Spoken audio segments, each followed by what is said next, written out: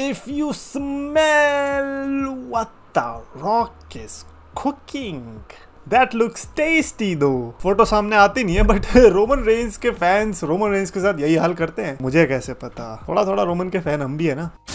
तो यस जो champions of the world मैं हूँ 3D extension the best wrestling creator on this subcontinent with the best wrestling audience और यार under Undertaker ने ना एक प्लान बनाया कि हम अंडरटेकर वर्सेस बटिस्टा करवाते हैं। मतलब लाइक ऐसे लाइक लिटरली नहीं बट शब्दों के वाण। क्योंकि अपेरेंटली लाइक जो पॉलिटिक्स का सीन है, वो ये है कि अंडरटेकर डोनाल्ड ट्रंप की साइड ज़्यादा है। और मीन कल ही बटिस्टा ने डोनाल्ड ट्रंप को बहुत झाड़ लगाई है सोशल मीडिया पर डोनाल्ड ट्रंप को बहुत बुरा बुरा बोला है। और अंडरटेकर के पॉडकास्ट में अब डोनाल्ड ट्रंप आने वाला है। तो इसीलिए मेरे को नहीं पता था कि अंडरटेकर की जो स्टेटमेंट है जो उसने ये बोली कि आजकल लोग एथलेटिसिज्म पे लोग ज़्यादा ध्यान दे रहे हैं। उससे ज़्यादा कॉन्ट्रोवर्शियल ये होगा कि डोनाल्ड ट्रंप अंडरटेकर के पॉडकास्ट में आ रहा है। मैं तो कह रहा हूँ, भाई, एक बार हुआ था ना लैशली वर्सेज ओमागा और ट्रंप भी था उसमें। अब होना चाहिए Undertaker versus Batista custody of Donald Trump match यहाँ पे भी डोमिनिक मिस्टीरियो क्यों निकल रहा था यार? बट अगर आप भी डोनाल्ड ट्रंप के फ़ैन हो तो सब्सक्राइब कर देना और अगर नहीं हो तो सब्सक्राइब कर देना, क्योंकि पॉलिटिक्स से मुझे कोई फ़र्क नहीं पड़ता। मैं चाहता कि बस सब्सक्राइब करो आप। मैंने सोशल मीडिया पे अपने लिखा था कि द शील्ड के मेंबर्स को मैंने रैंक किया अपने अकॉर्डिंग के। नंबर वन पे मेरे अकॉर्डिंग अभी जो चल रहा है, वो है रोमन रेंस नंबर टू पर सेथ रॉलिंस नंबर थ्री पर टीन एम्ब्रोस यानी कि Jon Moxley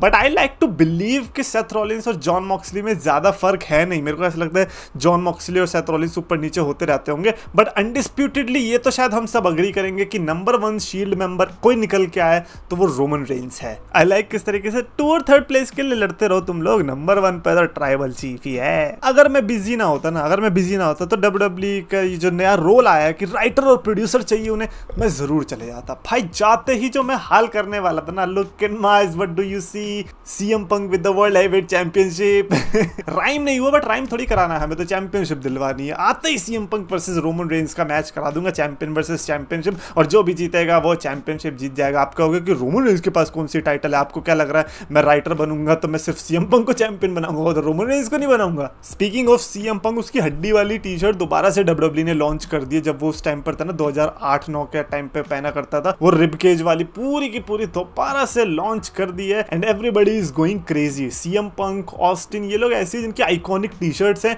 अब अपेरेंटली जो व्हाइट वाली best in the whole T shirt है, उसके साथ साथ ये भी आइकॉनिक बनने वाली है और बड़ा सही टाइम पे लॉन्च करा क्योंकि स्ट्रेट एज डे भी था। यानी कि जो सीएम पंक स्ट्रेट एज है, क्योंकि वो अल्कोहल कंज्यूम नहीं करता, कोई भी ऐसे नशा वाला पदार्थ नहीं यूज़ करता तो वही वाला दिन था और उसी दिन उन्होंने ये लॉन्च करी। सो या that's that's great by like see WWE. By the way WWE के live events जो बचे हुए हैं 2024 के अंदर वो देख लो एक बार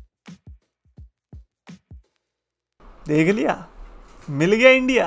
तो इंडिया में नहीं है। हाँ मैंने भी ऐसे किया था। मैंने भी पहले देखा था, इंडिया इंडिया इंडिया इंडिया नहीं है इंडिया यार। इंडिया में मुझे लग रहा है अगले साल भी नहीं है, क्योंकि जब होता है तो भाई बहुत पहले से बात होनी शुरू हो जाती है। बट खैर, हमें तो ऐसे ही काम चलाना पड़ेगा। अब, तुम हमारे लिए शोज़ टाइम पर दे दो, वही बड़ी बात है, क्योंकि अब अपेरेंटली सर्वाइवर सीरीज़ और भी जल्दी आएगी। बैड ब्लड हमें याद है ना, कितने सुबह बोलेंगे, रात बोलेंगे, क्या थी वो पता नहीं। उसके और भी पहले सर्वाइवर सीरीज़ शुरू होने वाली है, ढाई बजे के आसपास तो देख लो। ये पता नहीं कहाँ ले जा रहे इस सीन को ऐसा लग रहा है कि अब तो अमेरिका में होने का भी फ़ायदा नहीं है। अब तो ऐसा लग रहा है कि जब तक ये इंडिया में नहीं आएँगे, तब तक कोई टाइमिंग हमसे मैच करने वाली नहीं है। स्लीप तो सेक्रीफाइस होगी होगी। ये डब्ल्यू वाले सिर्फ़ इसीलिए करते हैं ताकि ये बाद में ऐसे फ्लेक्स कर सके। हमने ना ऐसा शो दिया था ना, लोगों की नींदें उड़ गई थी। उन्हें ये, भाई सही से बताओ कि क्यों उड़ी थी? क्योंकि तुम्हारा टाइमिंग ही ऐसी थी। बेचारों को उड़ानी पड़ी। कैरन क्रॉस ने ना रिसेंटली एक इंटरव्यू में एक चीज़ बताई। उसने बताया कि यार बॉबी लैशली का एक आइडिया था। बॉबी लैशली ने मेरे से बोला था जब हमारी फ्यूड चल रही थी कि क्यों ना इसको रियल बनाने के लिए ना रियल में लड़ जाते हैं बैक में और किसी को नहीं पता चलने देंगे कि ये हम लोगों ने प्लान किया है ताकि रूमर्स और ये सब उठे इंटरनेट पे कि रियल फाइट है, हम लाइन को ब्लर कर देंगे कि भाई रियल है या वो है, उस चक्कर में लोगों को, लोगों की हाइप मिलेंगी। तो कैरिन क्रॉस कहता अच्छा लेकिन अगर किसी ने हमें छुड़ाया नहीं तो असलियत में बच गए, कोई इंजर्ड विंजर्ड हो गया तो ट्रिपल एच ने हमें फायर कर दिया तो अब ये तो तो के चक्कर में हो गया तो तो अब क्या उखाड़ रहे हो तुम लोग? बॉबी लैशली तो फिर भी फायर ही हुआ ना अल्टीमेटली मेरे को तो लगता है बॉबी लैशली का आइडिया बहुत तगड़ा था, हो सकता है काफ़ी लोग डिसएग्री करेंगे बट मेरे को लगता है कैरन क्रॉस के पॉइंट्स बहुत वैलिड थे, मैं ये मानूँगा कि हाँ हो सकता है कि भाई वो फायर कर देता बट आप खुद सोचो ट्रिपल एच वही बंदा है जिसने फिर कोडी रोड्स और केविन ओवेंस वाला वो अटैक करवाया था, जिसमें केविन ओवेंस ने अटैक कर दिया था बट ऑब्वियसली वो उनको पता था. तो हो सकता है कि अगर ट्रिपल एच को ना पता होता तो वो फायर कर देता. आई डोंट नो मैनी बहुत वियर्ड सिचुएशन है और हो सकता था कि शायद यहाँ से लैशली और कैरन की एक लेजिट स्टोरी बन सकती थी. और मैं तो ये कह रहा हूँ कि यार, तुम इतने बड़े बड़े हो चुके हो, तुम्हारा करियर अब तक सही से स्टार्ट नहीं हुआ है। लैशली जैसा बंदा, इतना एक्सपीरियंस तुम्हारा तो करियर स्टार्ट भी नहीं हुआ। अगर वो कह रहा है तो फिर तुम्हें कर देना चाहिए था यार। अब तुम क्या स्कारलेट के साथ बैठ के घूम रहे हाँ? ये भी तो है, इस बंदे के पास स्कारलेट भी तो है तो इसीलिए ज़्यादा उछलता है। गलत किया कैरिन क्रॉस को वो ऑफ़र ले लेना चाहिए था, मेरे according by the way can we just talk about Crown Jewel because अभी के लिए ऐसा लग रहा है कि क्राउन ज्वेल की फील नहीं आ रही, है ना? अगले महीने दो नवंबर को हमें क्राउन ज्वेल देखने को मिलेंगी एंड अभी के लिए सिर्फ़ दो ही मैचेस अनाउंस है कि भाई एक तो Cody Rhodes versus Gunther and Liv Morgan versus Nia Jax दोनों के दोनों ऐसे मैचेस है जो कि पहले से ही अनाउंस थे कि चैंपियन वर्सेस चैंपियन हम कराने वाले हैं। But so far I don't think so the card is looking that good एक तो आप सऊदी अरेबिया में जा रहे हो, बहुत अच्छी हाइप होती है, बहुत पैसा देते हैं, बहुत पैसा देते हैं तो तुम क्या करवा रहे हो? तुम हमें मैचेस ही नहीं दे पा रहे हो कोई सही से। जे वर्सेस ब्रॉन ब्रीकर नहीं पता हमें देखने को मिलेगा या नहीं क्राउन ज्वेल के अंदर। Kevin Owens versus Randy Orton पता नहीं होगा या नहीं क्राउन ज्वेल के अंदर, क्योंकि हमें इतना पता है, शायद से पाँच मैचेस के साथ ही जाने वाले वहाँ पर भी राइट उसके अलावा क्या पता फाइनल टेस्टमेंट और व्हाइट सिक्स को नहीं नहीं नहीं, इतनी इज़्ज़त थोड़ी देंगे ये लोग इसको, है ना? ना ना, इसकी जगह तो ये बियांका बलेर और जेड कारगिल वाला मैच करा देंगे। देखो, वो मत कराना। हम सब जानते हैं कि क्राउड जो सऊदी अरेबिया की क्राउड है, वो वुमेन के मामले में थोड़ी पिछड़ी हुई है। थोड़ी रहने दो। एक बार मतलब बस इस इवेंट तक रहने दो। लिव मॉर्गन वर्सेस नाइजैक्स इकलौता वुमेन्स का मैच काफ़ी है। हमें अभी टैग टीम मैच वुमेन्स की तरफ़ से नहीं देखना। उसके अलावा बहुत सारे मैचेस आप Seth Rollins versus Bronson Reed रख सकते हो। That match definitely deserve a spot क्योंकि यार जिस तरीके से ब्रॉन्सन रीड ने अपने आप को प्रूव किया है against Braun Strowman and against Seth Rollins एक लेजिट कंपेटिटर बन के निकला है।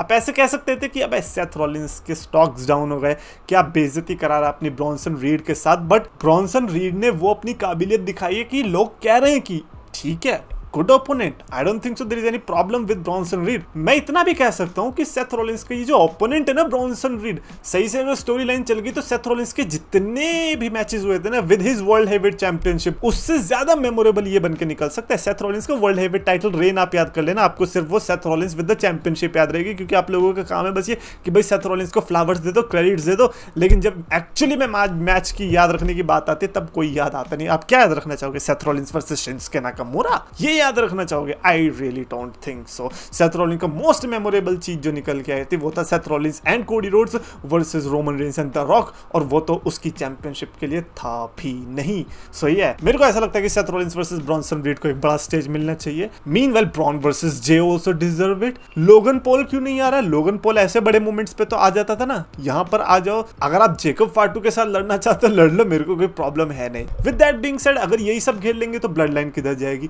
क्या हमें रोमन रेंस भी देखने को मिलेगा या नहीं मिलेगा? क्योंकि रोमन रेंज सोलो सिक्को ये तो ऐसा लग रहा है कि सर्वाइवर सीरीज़ के लिए ही लड़ रहे हैं। बट चाचा सर्वाइवर सीरीज़ से पहले क्राउन ज्वेल भी है। हमें क्राउन ज्वेल में भी तो कुछ देखने को मिले। हमें Roman Reigns versus Solo Sikoa ही दे दो। Roman Reigns versus Jacob Fatu ही दे दो यार। तुम जेकब फाटू लोगन नहीं दे रहे। खैर, चाहिए भी नहीं अभी तो। रोमन वर्सेस जेकब फाटू दे दो। That makes more sense specially considering कि किस तरीके से रिसेंटली जेकब फाटू ने इतना ओवर पावर कर दिया रोमन रेंज क्योंकि उसे फील होना चाहिए ना कि सोलो सिक्वा तो बात की बात है। पहले मैं जेकब फाटू से तो लिपटू। अब ये अलग बात है कि सोलो से कुआ से तगड़ा जेकब फाटू है बट हायरकी में पावर हायरकी में जो मैं बात कर रहा हूँ, उसमें जेकब फाटू थोड़ा नीचे आता है। तो ऐसे में रोमन को पहले जेकब से लड़ना चाहिए। Now that he is babyface तो वो लाइक ऐसे खिदड़ेगा भाई। ऐसा नहीं है कि रोमन रेस ये पुराना ट्राइबल चीफ वो वाला नहीं है जो जो चाहे वो मिलेगा क्योंकि ये बेबी फेस है तो बहुत स्ट्रगल करना पड़ेगा। ऐसे दो लल्लू पल्लू टांगा टोंगे आ जाएँगे ना, ये आके बजा जाएँगे रोमन रेंज को हमें पता भी नहीं चलेगा। तो ऐसे में like what if Roman Reigns goes like two one one against Tama Tonga and Tonga Loa भाई वो क्या मज़ा आएगा ना?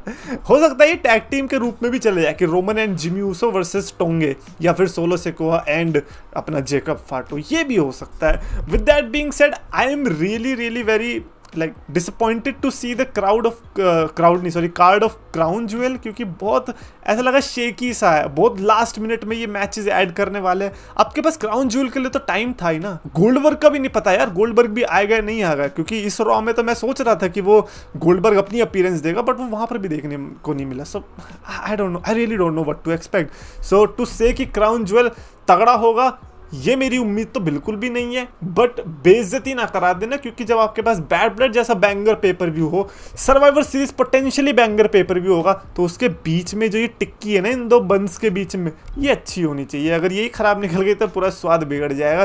With that being said definitely आप कॉमेंट्स में लिख के बताना अपने थॉट्स रिगार्डिंग क्राउन ज्वेल और एनी ऑफ़ द सिचुएशन साथ ही साथ सब्सक्राइब भी कर लो, और अगर आपको वीडियो पसंद है तो प्लीज़ लाइक चैनल को सब्सक्राइब करो।